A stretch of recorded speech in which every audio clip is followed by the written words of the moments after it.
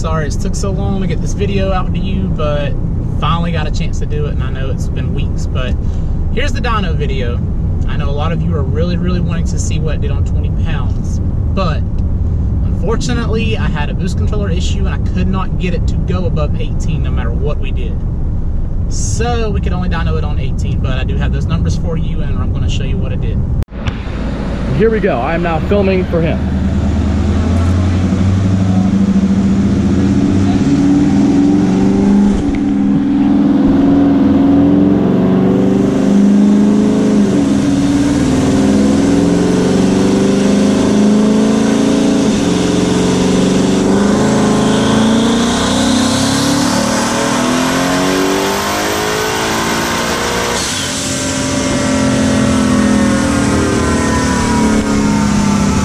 Sounded fast.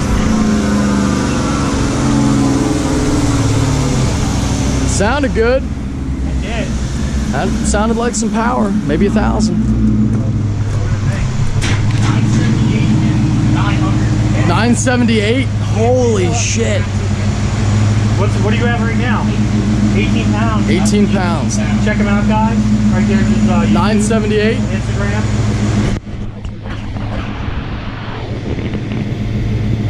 978 and 899. That's pretty impressive for 18 pounds. But he made 978, guys. 978 on uh, 18 pounds. Yeah, you did have a big puff of uh, spark knock.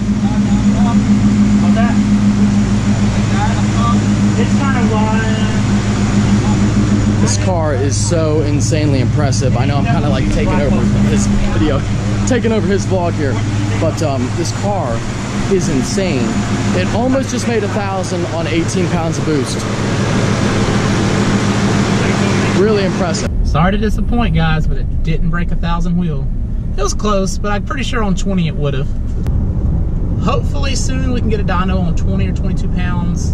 Tuner says we should be good to that, so that should be coming anytime soon. Unfortunately, for the ones that follow me on Instagram, you already know. I took the car to the track last weekend, Friday, and when the car was under an actual load, the boost controller let it go to 22 pounds under the same settings that on the dyno it would only go to 18 pounds on. Well, the car didn't like the 22 pound run. I'll just put it that way. But I do have that video as well, and I'm going to try to get out to you guys a lot faster than it took me to get this video out. But I did have to take the car to Texas, and it is at LPF right now, getting it fixed and some stuff, other stuff done, hopefully. So the next call out may be interesting because it's still going to be on the 19s, it's still going to look stock, and it's still going to be on stock suspension. But it may have a couple upgraded things, and it may or may not have 300 more wheel. You'll have to wait and find out. But that is going to be October 20th, I do believe. Um, I'll keep you guys posted on that as well. But yeah, so here is some runs also. When I was up there after the dyno, we went to the track the next day and met some cool people. The track, we ended up going to Mexico, of course, for some runs that night. I got to run a fox body from a dig in the street, and I was not sure how that was going to go because my car usually doesn't hook that good in the street. But their spot's kind of sticky. And shockingly, even with the Fox body pulling the front tire off the ground on launch, I was able to stick with him. When the car hit second, obviously it's not as sticky out there and it did blow the tires off, but I was able to come back around him once it hooked. Also got to run a bike that had a header of tune and I'm pretty sure he had sprockets, but I'm not 100% um, from the roll and that was fun. Uh, if you watch the video, he kind of shoots flames when he shifts and that's dope. But uh, still trying to get all this going under wraps and still trying to get the hang of editing and all that but i will be getting more videos you guys as soon as i can just bear with me and it's probably going to be a month or so before the car's back unfortunately he's really backed up and he's the only one there working but uh check him out if you need to. Justin at lpf he's been very good to me and helped me so much. And hopefully my car will be badass when it gets back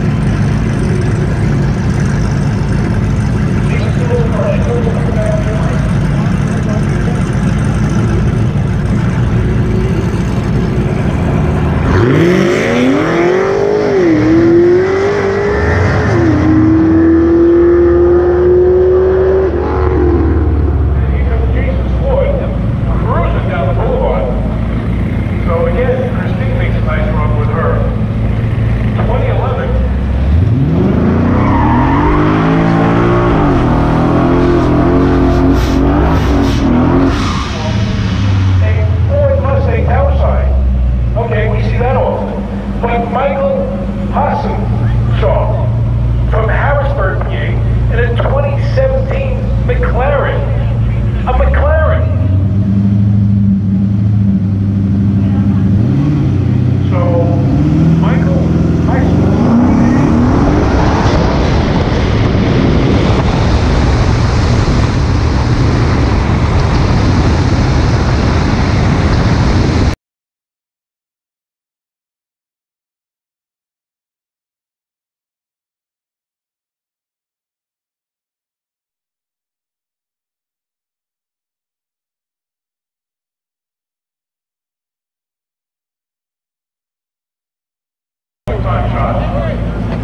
Get McLaren